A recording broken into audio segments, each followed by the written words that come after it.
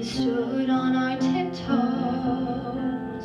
we could peek over the sill, and once in a while we would see a girl slowly walking up the hill.